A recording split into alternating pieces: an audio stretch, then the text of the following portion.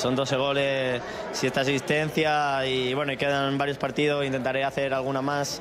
Eh, daré, daré todo, pero nada, lo más importante es el equipo, es muy fácil jugar aquí, muy fácil jugar con estos compañeros, con cualquier compañero te lo hace más fácil, es fácil meter goles porque te la dejan para, para, para meterlo y luego las, las, asistencias se las das y saben cómo meterla.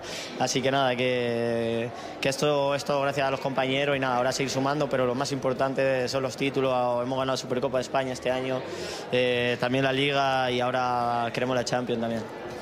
Son 12 goles, si está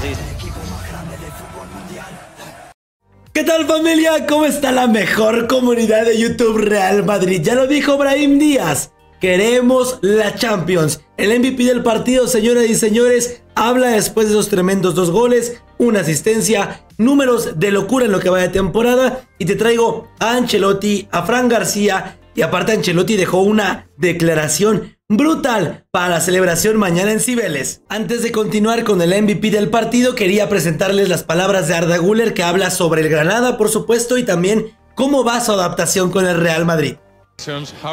Muchas felicidades. ¿Qué tal ha competido el equipo en este partido? Bueno, nos hemos preparado de la mejor manera posible. El Real Madrid siempre intenta ganar. Hoy nos preparamos de la mejor manera y conseguimos una victoria clara. No celebramos mucho ya que nuestro rival ha perdido la categoría. Respeto al rival con, sus tan solo 18, 19 añitos, pero eso ya engrandece mucho la figura del turco del Real Madrid. También habló sobre sobre su aclimatación con el equipo y esto fue lo que dijo en tus tres últimos partidos de liga. Bueno, entiendo que te sientes con mucha confianza, ¿no? Sí, puedo decir que tengo mucha confianza ahora.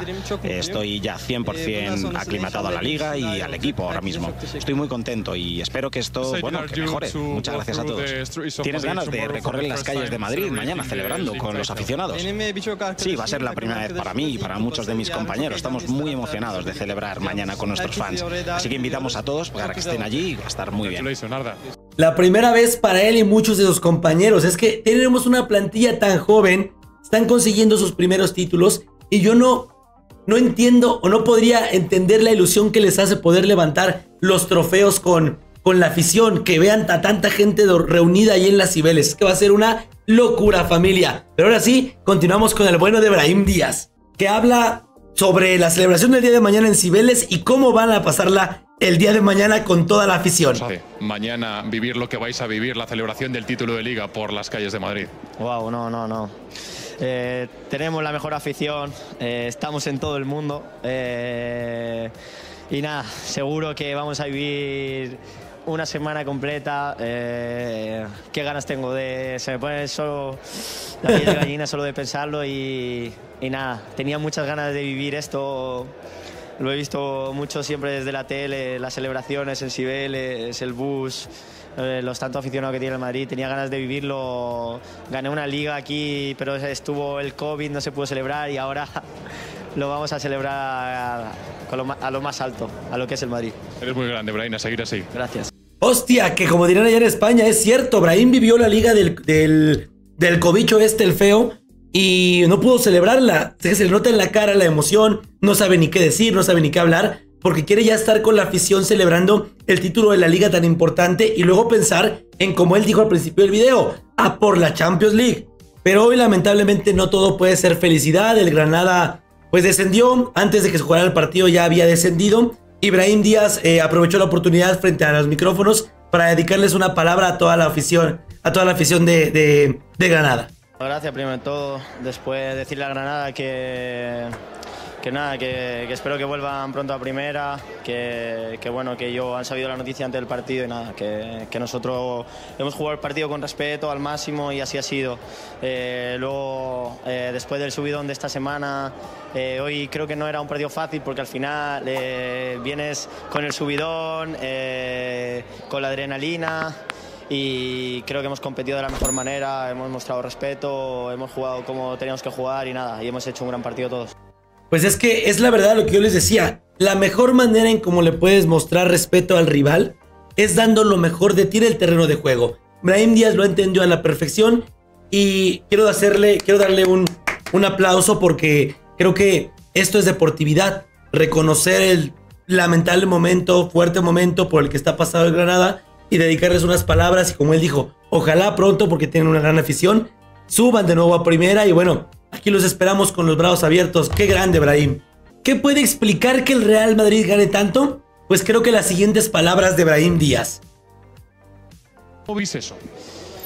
Bueno, eh, creo que sí, que todos somos importantes. Ya te digo, esto ya no somos ni amigos, somos familia. Paso más tiempo aquí con ellos, que para mí son mis hermanos, eh, eh, que incluso con mi familia en casa. pero sí, como digo, es increíble el grupo, lo hacemos todo muy fácil porque cualquier jugador creo que, está a la altura de, lo que es el, nivel de, exigencia del Madrid, que, no es nada fácil, que es lo más alto del mundo, el mejor club del mundo.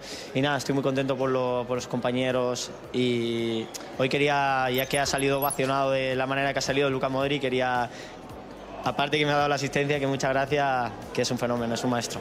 ¡Wow! Se deshacen elogios entonces al bueno de, de Luka Modric un maestro, un fenómeno. Yo creo que el que marca la pauta, ¿no? Para con 39 años seguir luchando, seguir corriendo como el que más. Y esto, esto, esto se queda. Y lo dice bien Brahim.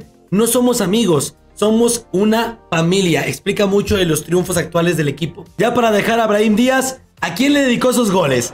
Explícame los dos golazos que has hecho. El primero jugado en tuyo, el segundo una gran jugada colectiva. Bueno, sí, el primero me dijo Vini en el vestuario que iba a meter un gol así, que, y eso es verdad. Me dijo, cuando, cuando lleve la pelota ellos se abren, intenta hacer otro recorte y le hice caso. Y lo metí, así que se lo dedico a Vini. Y nada, el segundo la verdad es que ha sido una...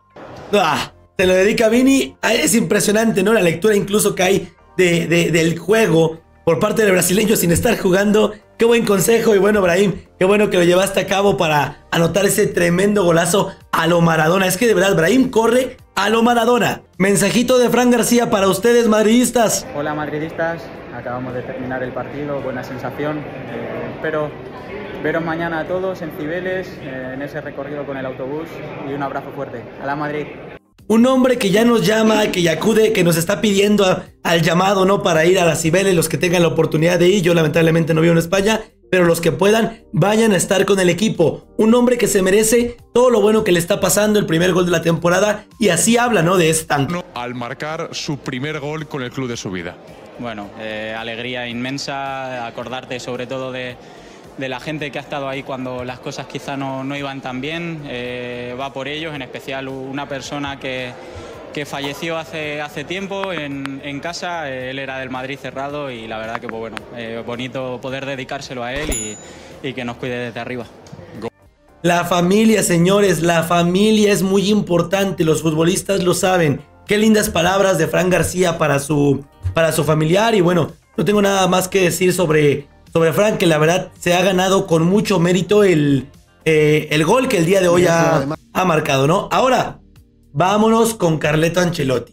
Pero antes, la fotito de cómo llegó. ¿Cómo llegó Carleto al, al, nuevo Los Cármenes? Ancelotti llegó así al estadio, abriendo plaza, prácticamente como Luis Miguel, ¿no? Una locura. No, en serio, a ver, vean nada más cómo llega Ancelotti, es que es todo un padre. Qué grande, Carleto, te vuelvo a repetir, abriendo plaza. Yo no sé si en España conozcan a Luis Miguel, estoy completamente seguro que sí, pero es que parecía Luis Miguel.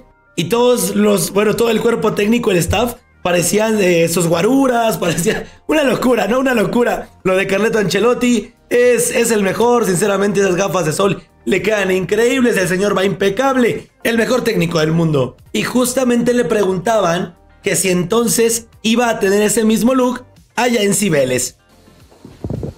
Hola, mister, buenas tardes. Miguel Ángel Ara de Marca. Hace dos años, en la celebración con el español, dejó una imagen icónica, aquella del puro con los brasileños. ¿Para mañana esperamos algo parecido? Sí, más o menos. Puro. En las gafas, igual. Un crack, el amo de las ruedas de prensa. No tengo nada más que decir, Carleto. Chapó, chapó de verdad porque eres un grande. Pero le preguntaron sobre Mbappé. ¿Ustedes creían que a Carleto lo iban a dejar ir, lo, iban a dejar ir de la rueda de prensa post partido sin que le preguntaran sobre Mbappé? Pues no. Y aquí tenemos su respuesta. Grande. ¿Qué tal, Carlos? Muy buenas. Fernando Burgos en directo para el Radio Estadio de, Onda Cero. Eh, la liga está, ganada. Estamos a 21 días justo ahora de la final de Champions. Ayer Kylian Mbappé confirmó que se va del Paris Saint-Germain, que no renovará. Luis Enrique no ha dicho dónde se va a ir, pero ha dicho que todos lo sabemos. ¿Usted también lo sabe?